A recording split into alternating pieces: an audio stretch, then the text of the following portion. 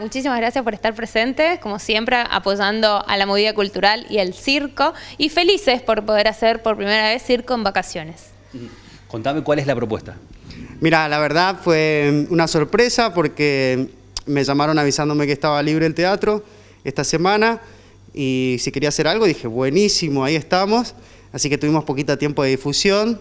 Eh, pero nada, es para disfrutar el verano, que los chicos puedan venir a, disfrutar un rato del circo. Eh, que disfrutar un rato del circo, que es gratis, que es vacaciones. Y bueno, lo hicimos tempranito, por suerte aflojó la lluvia, así que bien, bien, contentos.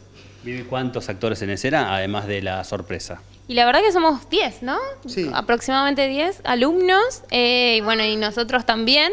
Eh, nada, lo mejor de la escuelita de circo, como siempre, y va a durar, supongo yo, que una hora y piquito. Lo bueno es que va a tener muchas entradas de Wilbur.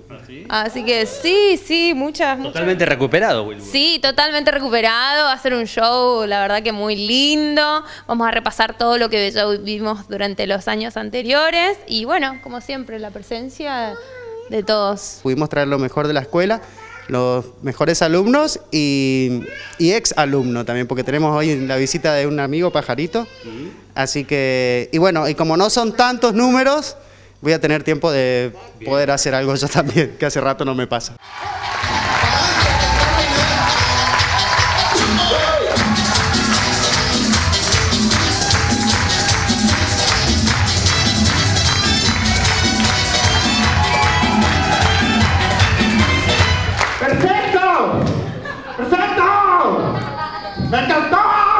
Wilbur, todo lo hacen ustedes, puesta en escena, vestuario, maquillaje. Absolutamente todo, todo, todo, todo. Eh, es un trabajo, hoy es fácil porque es un poco eh, volver a hacer lo que hicimos en la gala, eh, así que los vestuarios ya estaban, las canciones también, nosotros colgamos todos los elementos, nuestras colchonetas, todo, todo, todo lo hacemos nosotros.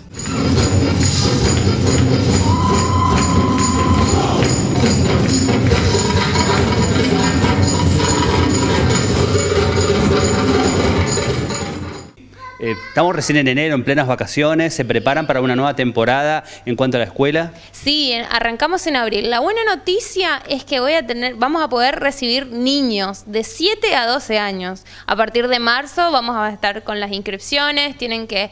Em, sumarse a la fanpage de la escuelita de circo y ahí vamos a dar todas las indicaciones. Pero bueno, la buena noticia es eso, el año pasado no pudimos inscribir a la gente, pero bueno, este año sí, ya vamos a poder tener nuevos alumnos. Así que yo y la familia de circo súper contentos de sumar gente.